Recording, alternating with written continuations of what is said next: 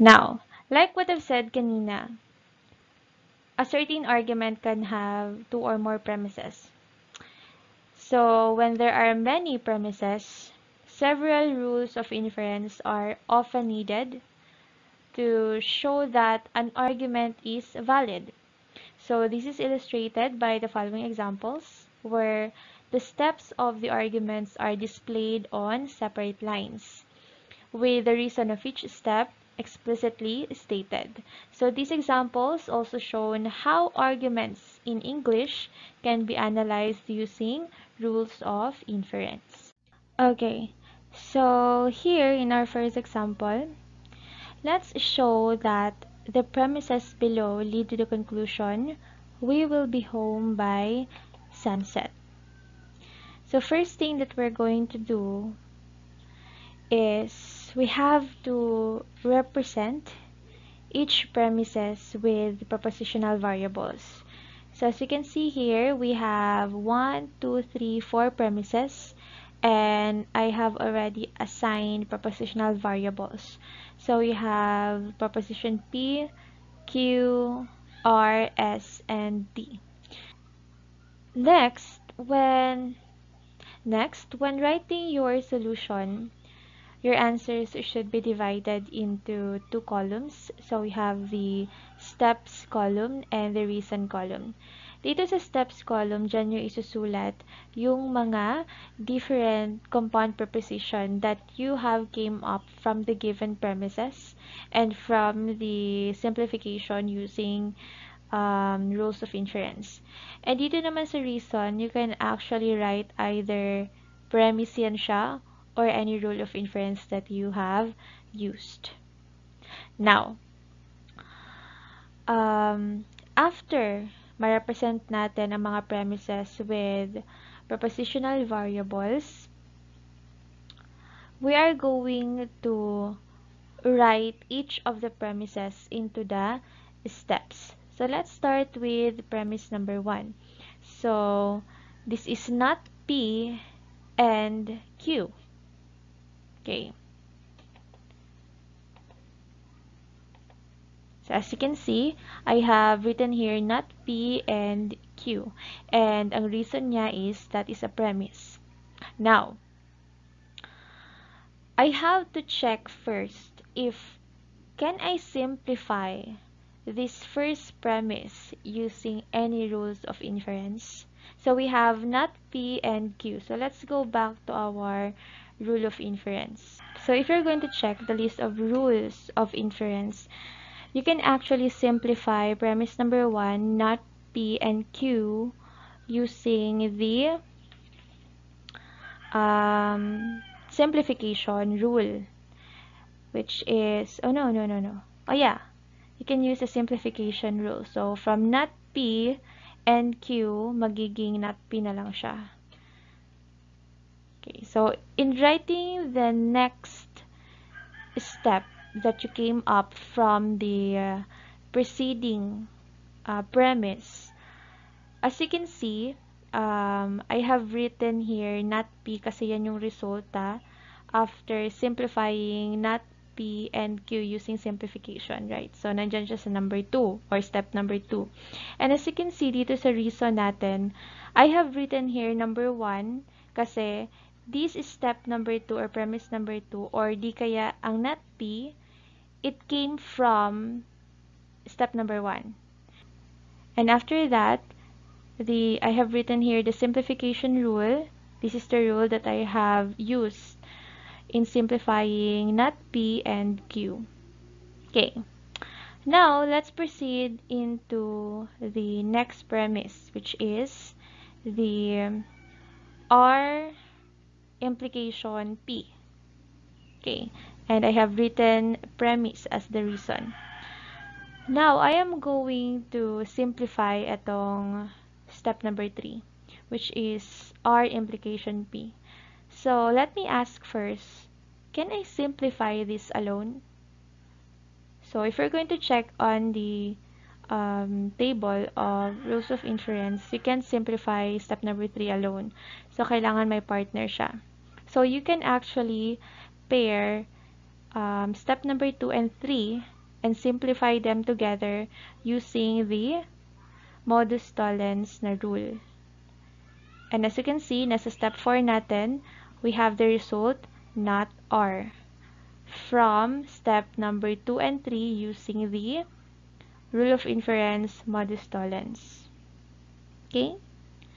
And then, after that, let's proceed to the next premise, which is not R implication S. So the reason is premise. Now, I'm going to simplify step 5. Let me ask again, can I simplify step 5 alone?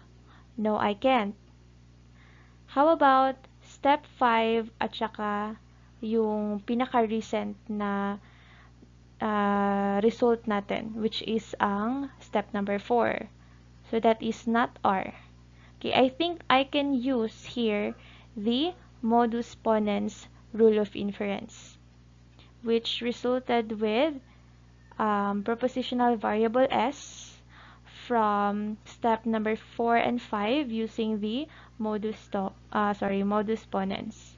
Okay, let's proceed to the last premise. Let's write it down dito sa steps natin. So we have S implication T. Okay, so I have write the reason here as premise. So, um, just a reminder lang ha that our conclusion should be we will be home by sunset and that is represented by proposition T. So, dapat yung last step natin should be propositional variable T. Okay. So, now let's um, simplify the recent step which is ang step number seven, 7 S implication T. So, let me ask again, can I simplify it alone? No, you can't. How about let's simplify both the recent um, step and the current step which is yung step number 6 at saka step number 7. We can actually use the rule modus ponens here. So as you can see, if we're going to use the modus ponens rule, we will came up with the result uh, propositional variable t from the step 6 and 7 using the modus ponens rule. And with this, we have came up with the conclusion propositional variable t represented by we will be home by sunset. So that's how you show the validity of an argument using a or using the rule of inference. Now let's have another example. Okay, so Let's show that the premises below, so we have three premises, lead to the conclusion um, if I do not finish writing the program, then I will be or I will keep up feeling refreshed. So this is represented by the compound preposition not Q implication S. Okay, let me write it down. So this is represented by not Q implication S. So, our conclusion should be in this form of compound proposition, not Q implication S. Okay, so like what I've said, if you're given with a certain number of premises, first thing that you're going to do, you have to represent each premises with propositional variables. So, yeah, naka-represent na siya. We have PQRS. So we have 1, 2, 3, 4 propositional variable here. And you have to remember that um, if a certain propositional variable, or sorry, if a certain premise is my word na not, so you have to negate it. As you can see here, um, propositional P denotes you send me an email message dyan sa first premise natin. And going to the second premise, meron dito, you do not send me an email message. So, that is still propositional P. However, nakanegate lang siya. Kasi may word na not. Therefore, it is not P. Okay? So, you have to remember that. Kasi baka i-represent nyo siya with different prepositional variable. However, meron lang silang same value, same meaning. Okay? And then, after na-represent natin ng mga prepositional variable, remember ha, that in writing your answer, your answer should be divided into two columns. We have the steps and the reason. Now, after that, let's start with the first premise. So, the first premise, isulat natin siya sa step 1 or step number 1, yeah? So, this will be P implication Q. And then yung reason is premise. Now, let's try to simplify ang P implication Q. Okay, so I think hindi natin siya masisimplify, right? Now, dito na papasok yung idadagdag ko na rule of inference which is yung contrapositive. Um, it is not included in the table but kindly write it down na lang. So, yung contrapositive is like this. P implication Q magiging ganito yan ang form niya. Ibaliktad lang natin siya. So, that's not Q implication not P. So, um, what do you call this? I, I think it's kung sa Boolean identities pa, eh, this is commutative ba or associative? I don't know, nakalimutan ko. Yeah, I think it's associative ata, right? I don't know. So, it's either of the two. So, ibaliktad siya and then inegate ang each of the proposition. So, this is contrapositive. Okay, so we're going to use contrapositive here. So from P implication Q, so the result will be not Q implication not P from step number one using the contrapositive rule of inference. Then after that, let's proceed to the next premise, which is not P implication R. And then yung reason is premise. Now, let's try to simplify uh, step number three alone. So yes, we can also use contrapositive, right? However, much better or much, yeah, mas better solution or mas better next step ang simplification of step number 3 at saka step number 2. Because if you're going to observe, we're targeting kasi not Q at saka S. So, makikita natin dito na nasa step 2 yung not Q. So, we have to get that. Right? Kasi if we're going to use contrapositive here, magiging uh, not R and not not P. So, double negation na siya. Uh, we don't have a no we, we, we don't have a double negation in the um, rules of inference. So, that's not valid. Okay? So, basically, I conclude that we cannot use contrapositive in the next step. So, best next step is simplifying step number 3 with step number 2. So, what rule of inference can we use here? So, we can use here the, um, what, do you, what do you call that? Um, hypothetical syllogism. So, if we're going to use hypothetical syllogism, magiging not Q implication R na siya. From step number 2 and 3 using the, uh, the indicated rule. Okay.